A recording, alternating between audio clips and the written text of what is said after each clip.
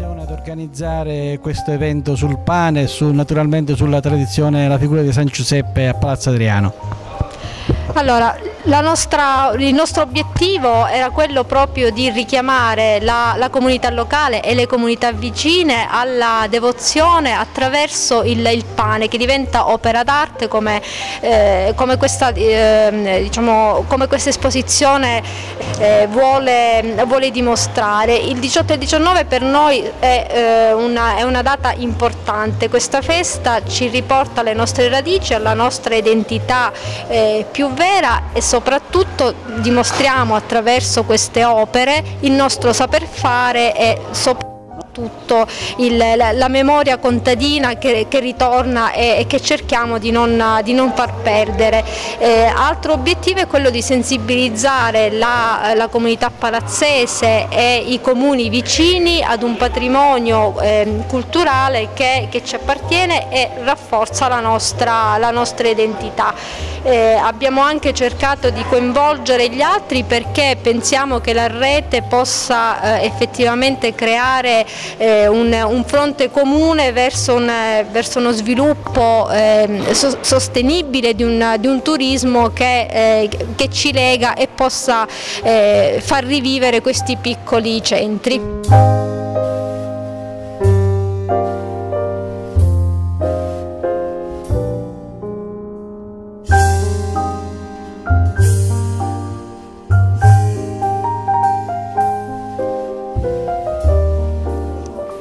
Dottore Frenda, lei è un conoscitore ed esperto dei pani votivi siciliani, potremmo dire che un po' ha il termometro in mano eh, soprattutto della festa di San Giuseppe, come va la situazione? Si sta recuperando questo patrimonio, eh, potremmo dire, del pane votivo oppure ci sono grosse difficoltà, si va perdendo culturalmente questa tradizione siciliana? Ma eh, indubbiamente ancora ehm, si assiste ad una, ehm, una vitalità di, eh, relativa proprio all'uso eh, dei pani cerimoniali, in particolar modo per le feste di San Giuseppe in Sicilia che come è noto rappresentano un momento apicale della eh, produzione cerimoniale di, ehm, di, pani votivi. Per quel che riguarda invece una situazione eh, di carattere eh, generale dove evidentemente eh, in un momento molto difficile anche per determinate attività legate proprio al recupero della cultura tradizionale locale, è chiaro che eh, mi sento anche di dire senza retorica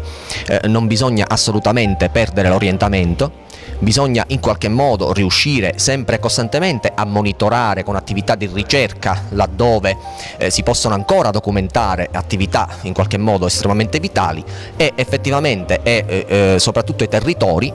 che devono anche farsi carico eh, di eh, aprirsi a eh, un, un discorso di, per certi aspetti controcorrente e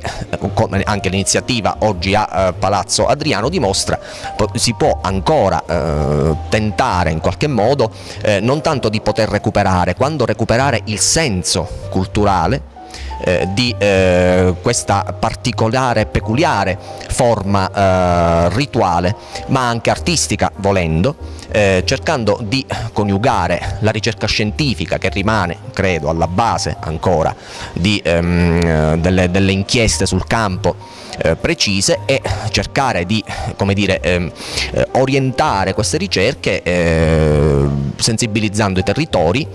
eh, e le amministrazioni che sono come dire, il polmone, tra virgolette, eh, non solo amministrativo eh, eh dei, eh, dei, territori. Io credo comunque che nonostante la situazione presenti delle, delle evidenti difficoltà